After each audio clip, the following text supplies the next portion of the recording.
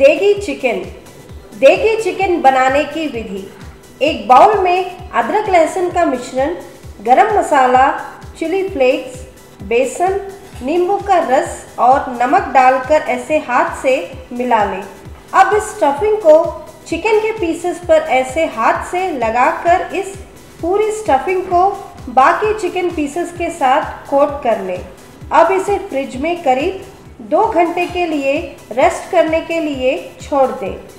एक गर्म तेल वाले पैन या कढ़ाई में चिकन को ऐसे आराम से डालकर डीप फ्राई कर ले दोनों तरफ़। करीब 8 से 10 मिनट बाद आपके चिकन पक जाएँगे।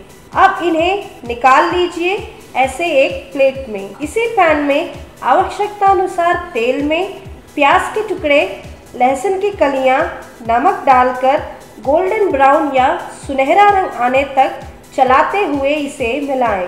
अब दही डालें, देगी लाल मिर्च पाउडर, धनिया पाउडर, जीरा पाउडर मिलाया है अब इन सभी को अच्छे से मिलाकर पकाते हुए कुछ देर बाद तेल में डीप फ्राई किए हुए चिकन के पीसेस भी डालकर पाँच मिनट मिलाने के बाद ऊपर से हरा धनिया डालकर कुछ देर मिलाने के बाद, कुछ और देर के बाद चूल्हा बंद कर दें। तैयार है आपका लाल रंग में देगी चिकन।